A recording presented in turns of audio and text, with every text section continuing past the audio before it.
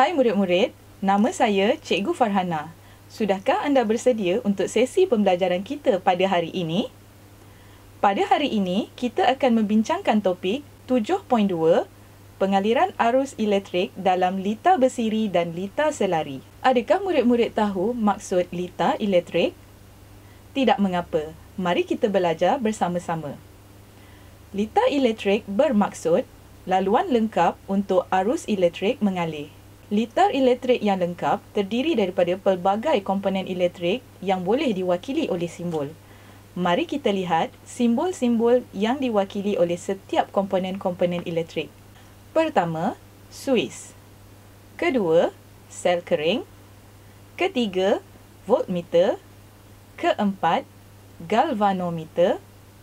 Kelima, ammeter. Jika murid-murid boleh lihat, perbezaan antara voltmeter, galvanometer dan juga ammeter adalah pada huruf yang berada di tengah-tengah setiap bulatan. Keenam, mentol. Ketujuh, perintang, ke-8 fuse dan ke-9 perintang boleh ubah. Sekarang, mari kita lihat jenis-jenis litar. Pertama, litar bersiri. Litar bersiri terdiri daripada komponen-komponen elektrik yang disambung secara bersebelahan bagi membentuk satu laluan tunggal untuk arus mengalir. Kedua, litar selari. Litar selari ialah litar yang dibahagikan kepada lebih daripada satu cabang laluan arus elektrik dan mempunyai komponen elektrik di setiap cabang.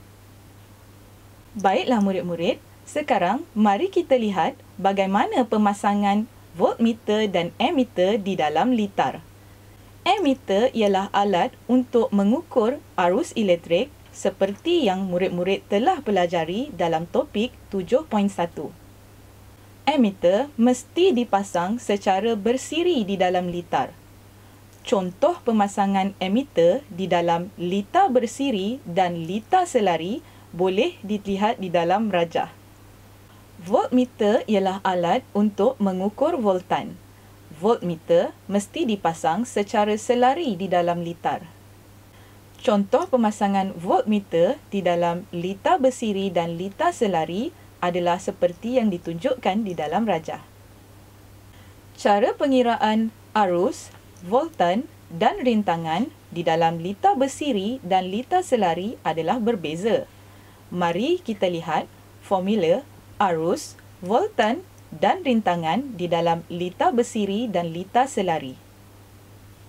Untuk lita bersiri, arus yang diwakili huruf I adalah sama dengan nilai arus 1, arus 2, arus 3 dan seterusnya. Untuk voltan pula yang diwakili oleh huruf V bersamaan dengan hasil tambah V1, V2, V3 dan seterusnya. Manakala rintangan yang diwakili huruf R adalah bersamaan dengan hasil tambah R1, R2, R3 dan seterusnya. Untuk lita selari, arus yang diwakili huruf I adalah bersamaan dengan hasil tambah I1, I2, I3 dan seterusnya. Untuk voltan pula, yang diwakili huruf V adalah sama dengan nilai V1, V2, V3 dan seterusnya. Manakala rintangan yang diwakili huruf R adalah 1 per R bersamaan dengan hasil tambah 1 per R1, 1 per R2, 1 per R3 dan seterusnya. Murid-murid boleh merujuk buku teks muka surat 154 dan 156 untuk mendapatkan formula ini. Lita bersiri dan lita selari masing-masing mempunyai kelebihan dan kekurangannya. Mari kita lihat apakah kelebihan dan kekurangan kedua-dua jenis litar ini. Kelebihan yang terdapat pada lita bersiri ialah Pertama, semua mentol akan menyala dengan kecerahan yang sama. Kedua, kecerahan mentol akan bertambah apabila lebih banyak sel kering ditambah. Manakala, kelebihan lita selari pula ialah pertama, apabila satu mentol terbakar, mentol yang lain masih boleh menyala. Kedua, komponen elektrik yang berbeza boleh dikawal dengan suis yang berlainan. Sekarang, mari kita lihat kekurangan yang terdapat pada kedua-dua jenis lita. Kekurangan yang ada pada lita bersiri ialah Pertama, sekiranya berlaku kerosakan pada satu komponen elektrik, komponen elektrik yang lain tidak akan dapat berfungsi. Kedua, pemasangan lebih banyak alat elektrik pula akan menyebabkan rintangan bertambah dan arus berkurang. Dan yang ketiga, setiap alat elektrik tidak boleh dipadam secara berasingan. Hmm, jika pendawaian rumah kita menggunakan lita bersiri, masalah besar pasti akan timbul. Contohnya, apabila kita menutup lampu di ruang tamu, habis semua lampu-lampu di dalam rumah turut terpadam. Ha, kan dah susah tu. Kekurangan yang terdapat pada lita selari pula ialah pertama, voltan setiap alat elektrik tidak dapat dikawal kerana voltannya adalah sama dengan voltan sumber. Dan yang kedua, penambahan sel kering secara selari tidak akan menambah kecerahan mentol. Murid-murid boleh melihat contoh animasi yang tertera. Adakah murid-murid dapat melihat kelebihan lita selari berbanding lita bersiri? Ya, dalam lita selari, kerosakan satu komponen elektrik tidak akan menjejaskan komponen elektrik yang lain seperti dalam lita bersiri. Ini kerana di dalam lita selari terdapat banyak laluan untuk arus elektrik mengalir, manakala di dalam lita bersiri pula hanya terdapat satu laluan untuk arus elektrik mengalir. Sekiranya satu mentol rosak di dalam lita bersiri, ianya akan menyebabkan lita terputus dan seterusnya menyebabkan arus elektrik tidak dapat mengalir. Animasi ini pula menunjukkan nilai voltan pada setiap komponen elektrik di dalam lita bersiri dan lita selari. Nilai voltan untuk setiap komponen elektrik di dalam lita selari adalah sama dengan nilai voltan sumber sekiranya kita menambah bilangan sel kering secara selari, kecerahan mentol tidak akan berubah. Manakala, sekiranya kita menambah bilangan sel kering secara bersiri, kecerahan mentol akan bertambah. Adakah murid-murid tahu apakah jenis litar yang digunakan dalam sistem pendawaian di rumah? Ya, sistem pendawaian di rumah dipasang secara selari. Mengapa? Sebagai contoh, semua lampu di rumah didawaikan secara selari dalam litar lampu supaya semua litar lampu mendapat voltan yang sama daripada bekalan kuasa yang utama.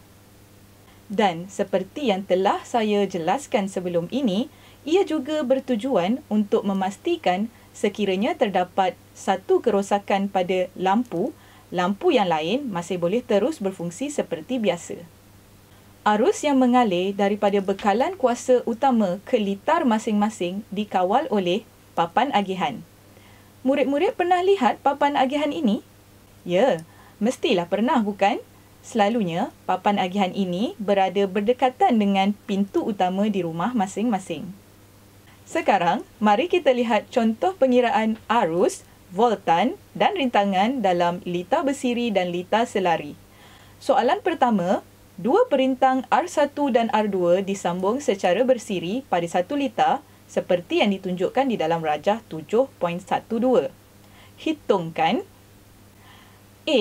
Rintangan berkesan iaitu R B. Arus dalam litar dan C. Voltan 1 dan voltan 2. Mari kita lihat soalan 1A. Untuk mengira rintangan berkesan iaitu R, murid-murid mestilah menggunakan rumus R sama dengan R1 tambah R2. Nilai R1 dan R2 telah pun diberikan iaitu kedua-duanya adalah 2 ohm. Maka nilai rintangan yang berkesan untuk lita bersiri ini adalah 2 ohm ditambah dengan 2 ohm bersamaan dengan 4 ohm. Soalan 1B pula meminta kita untuk mengira arus. Adakah murid-murid masih ingat lagi formula segitiga? Ya, untuk mengira arus, voltan perlu dibahagi dengan rintangan, iaitu I sama dengan V per R. Nilai voltan dan rintangan telah pun ada. Maka, nilai arus adalah 6 volt bahagi dengan 4 ohm bersamaan dengan 1.5 ampere. Baiklah, sekarang mari kita lihat soalan 1C. Untuk mengira voltan, murid-murid perlu menggunakan formula segitiga. V sama dengan IR, iaitu arus mestilah didarabkan dengan rintangan untuk mendapatkan voltan. Untuk mengira V1, arus perlu didarab dengan R1. Oleh itu, 1.5 ampere didarab dengan 2 ohm bersamaan dengan 3 volt. Untuk mendapatkan nilai V2, murid-murid perlu menggunakan rumus yang sama, iaitu arus perlu didarabkan dengan R2. 1.5 ampere darab dengan 2 ohm bersamaan dengan 3 volt. Soalan kedua pula ialah dua perintang iaitu R1 dan R2 dipasang secara selari di dalam satu litar seperti yang ditunjukkan di dalam rajah 7.13. Hitungkan A. Rintangan berkesan B.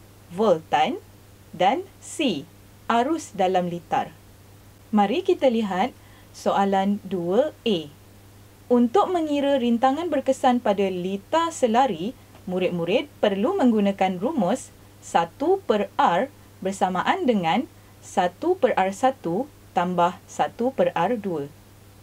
Nilai R1 dan R2 telah pun diberikan iaitu kedua-duanya ialah 2 ohm. Maka 1 per R bersamaan dengan 1 per 2 ohm ditambah dengan 1 per 2 ohm.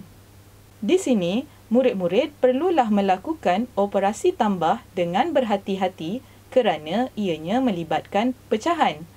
1 per R bersamaan dengan 1 per 1 ohm. Maka, R bersamaan dengan 1 ohm. Untuk soalan 2B, meminta pelajar untuk mencari nilai V. Oleh kerana ini adalah litar selari, V adalah sama dengan nilai V1 dan sama dengan nilai V2. Maka, V adalah bersamaan dengan 6 volt. Soalan yang seterusnya iaitu 2C meminta murid-murid untuk mencari nilai arus di dalam litar selari. Dengan menggunakan formula segitiga, I bersamaan dengan V per R. Untuk mencari I1, murid-murid hanya perlu mengisikan nilai R1 ke dalam rumus tersebut. I1 bersamaan dengan 6 volt bahagi dengan 2 ohm.